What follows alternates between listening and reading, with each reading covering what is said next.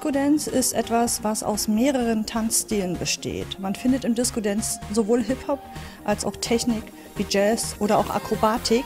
Das Besondere am Disco Dance ist allerdings die Geschwindigkeit. Ähm, dabei werden auf 140 Beats pro Minute getanzt.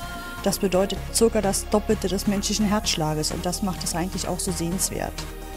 Also gerade im Disco Dance gibt es eine ganze Menge Coaches. Beginnen wir mit der Julia. Ähm, dann haben wir die Caro Ansorge, wir haben aber auch die Caro Borchert, die macht unseren Technikbereich. Wir haben die Silvi, die in der Choreografie hilft. Wir haben äh, den, die Maria und schlussendlich natürlich auch mich. Wir alle unterrichten und äh, geben Unterricht im Dance.